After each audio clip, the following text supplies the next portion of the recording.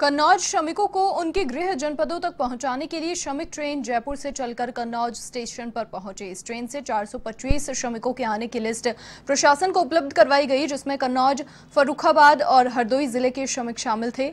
इनके लिए स्थानीय प्रशासन ने थर्मल स्क्रीनिंग से लेकर जलपान और बसों की व्यवस्थाएँ की थी। सुबह होते ही एडीएम गजेंद्र कुमार दलबल के साथ रेलवे स्टेशन पहुँचे, लेकिन जब ट्रेन कन्नौज पहुँची तो यहाँ 425 की बजाय महज 160 मजदूर ही ट्रेन में निकले।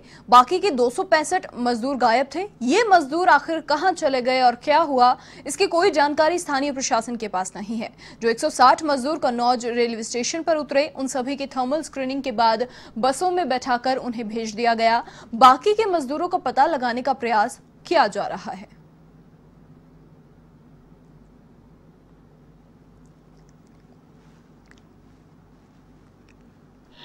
के जो श्रमिक हैं जो जयपुर में स्टैंडर्ड थे तो उनके लिए जयपुर से आज स्पेशल ट्रेन चलाई गई थी, जो कन्नौज आज सुबह आई है।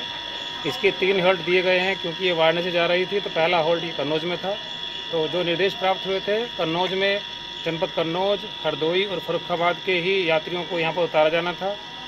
संख्या थोड़ी ज़्यादा आई थी, लेकिन यहाँ पर जो पूरा आवाज़ लगा के उनको बता के ज़िले का नाम मेंशन करते हुए उतारा गया है। तो लगभग 160 व्यक्ति यहाँ पर उतरे हैं।